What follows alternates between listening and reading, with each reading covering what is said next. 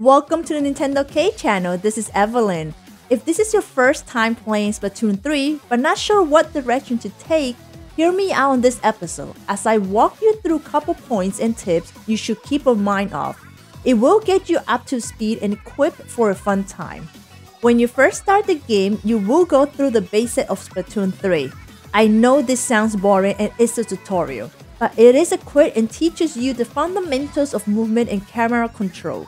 You'll learn how to aim and using your weapon by hitting targets.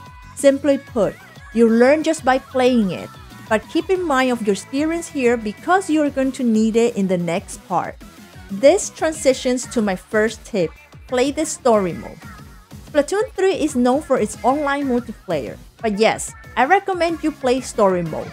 After going through the tutorial, this is where you can piece together what you learned in the start and put into practice with obstacles and enemies. The story mode is great at easing it on difficulty, so you get to build on what you learn and master. You will be surprised on how well the story mode is in learning all the fundamentals of Splatoon and having fun at it as well.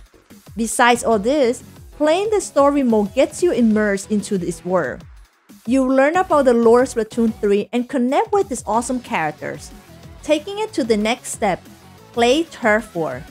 Like I always say, ink, ink, ink. The idea is simple. The team with the most ground cover in their team's in color wins. Essentially, what you learn in story mode, you take them moving on to Turf War. Different here is against real players on the field. In this online mode, as you play, you learn how to think on your feet, quickly make decisions, and implementing all you have learned so far with greater precision and accuracy. Of course, it does not come right away, but with practicing turf war, you will just get better at it naturally and come up with your own style of play and strategy. Just a thought, in case you don't know, I did say ink ink ink, but inking walls does not count to turf coverage. Now on to choosing your main weapon. I usually recommend weapons like the Splattershot Jr. and Aerospray. They provide good wide ink coverage so you can cover a lot of turf and doesn't require pinpoint accuracy to splat others. Of course, when you get more comfortable, you can try out other weapons when you get them through Sheldon. Experimentation is key to finding your preferred weapon. But try not to get totally comfortable with one and disregard everything else. Every weapon does have their pros and cons. Just a thought, the Splattershot Jr. and Aerospray I mentioned earlier have good in coverage, but takes a lot more hits to splat an enemy, making yourself less equipped to counter. Up next, using your sub and special weapons.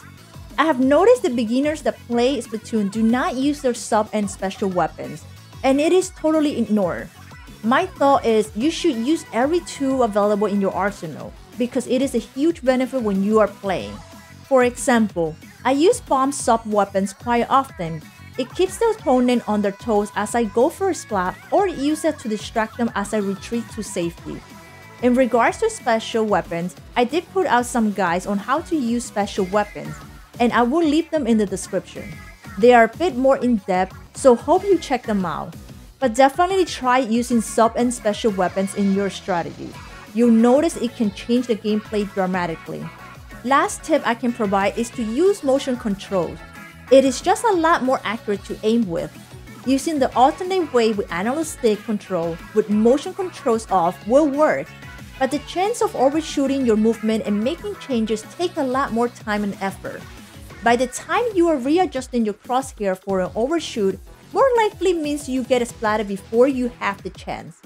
Everything mentioned does take practice and experimentation. Everyone is different and there is no right or wrong, but what you are most comfortable with is important.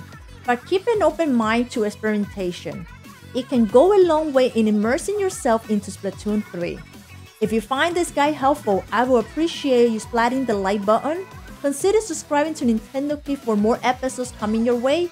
I am Evelyn, and I shall catch you on the next one.